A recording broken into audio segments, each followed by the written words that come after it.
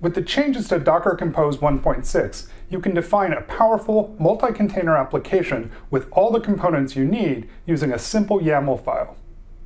And with 1.6, we've also introduced a new version of the Compose file with services, networks, and volumes as top-level citizens. Your old Compose files will continue to work, but it is easy to update your old files to the new, more flexible and powerful format. In the majority of cases, all you will need to do is take these three steps. Indent the entire file, place a services key at the top of the file, and add a version key with the value of 2. See? That's easy. Now, if you're doing anything with networks, volumes, or logging, there's a few extra things to be aware of. Let's take a look. There are now three new top-level keys, services, networks, and volumes. Under services, you have most of what you had under the old v1 compose files. There's also a new logging key under services to replace the old log driver and log opt keys. They now become driver and options under logging. Also, environment variables created by links have long been deprecated, so as of this version, we're removing them entirely. Now on to networks.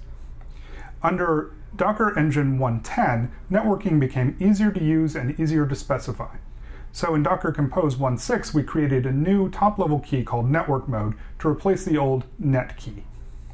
In the majority of cases, all the settings you have under the old net key will now go under the new network mode key. However, there's a couple of exceptions. If you're using net to specify using a container to use another service in the form net container container name, you now need to change that to network mode service service name. And if you were using net container container name or ID, you now need to change that to network mode container container name. And finally, volumes. Volumes are now a top level key. If you're using volumes with named volumes, you must declare them explicitly. Compose also creates a default volume with a name prefixed with your project name. If you want to name that volume something else, you need to declare it external.